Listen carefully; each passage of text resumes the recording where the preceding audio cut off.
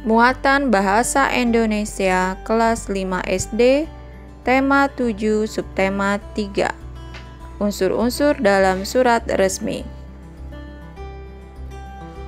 Selain dari orang atau instansi pengirimnya, surat resmi dan tidak resmi juga dapat dibedakan dengan melihat unsur-unsur penyusun surat tersebut. Mari kita lihat apa saja unsur-unsur penyusun surat resmi. Unsur-unsur dalam surat resmi yaitu 1. Kop surat 2. Tanggal surat 3. Nomor, lampiran, dan perihal surat 4. Alamat tujuan 5. Salam pembuka 6. Isi surat 7. Salam penutup dan unsur terakhir adalah nama pengirim. Perhatikan penjelasan unsur-unsur surat dari masing-masing unsur surat tersebut. Kop surat berisikan tentang instansi pengirim surat beserta alamat lengkapnya. Tanggal surat menunjukkan keterangan waktu dan tempat dibuatnya surat. Nomor lampiran dan perihal surat berisi nomor dikeluarkan surat oleh instansi pengirim surat dan keterangan singkat mengenai maksud surat tersebut.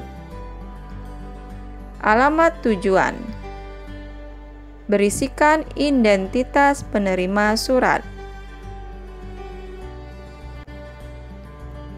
Unsur kelima, salam pembuka. Sapaan pengirim surat sekaligus pembuka surat. Yang keenam, isi surat. Pesan yang ingin disampaikan pengirim surat. 7. Salam penutup. Salam untuk mengakhiri surat. Dan terakhir, nama pengirim. Identitas pengirim surat. Coba perhatikan contoh surat resmi berikut ini. Sekolah Dasar Embun Pagi, Jalan Haji Yuanda, Raya nomor 120 Jakarta Timur merupakan unsur kop surat. Jakarta 10 Oktober 2018 merupakan unsur tanggal surat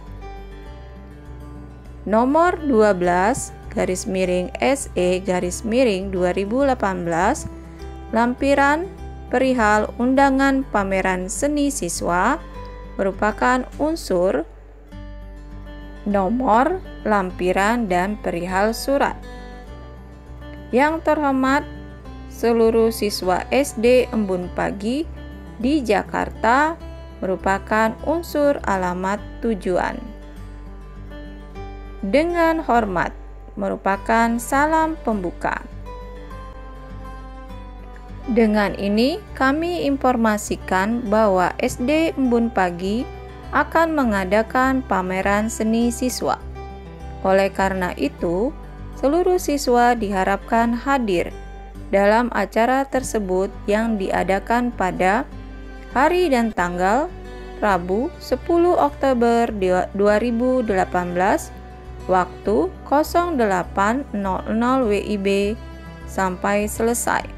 Tempat Aula SD Embun Pagi. Siswa diharapkan dapat berpartisipasi dan datang tepat waktu.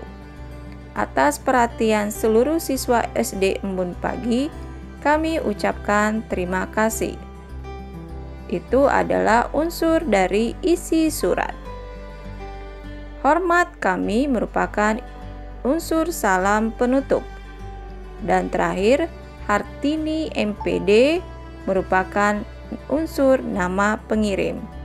Itulah tadi unsur-unsur surat resmi dan penjelasan beserta contohnya. Terima kasih.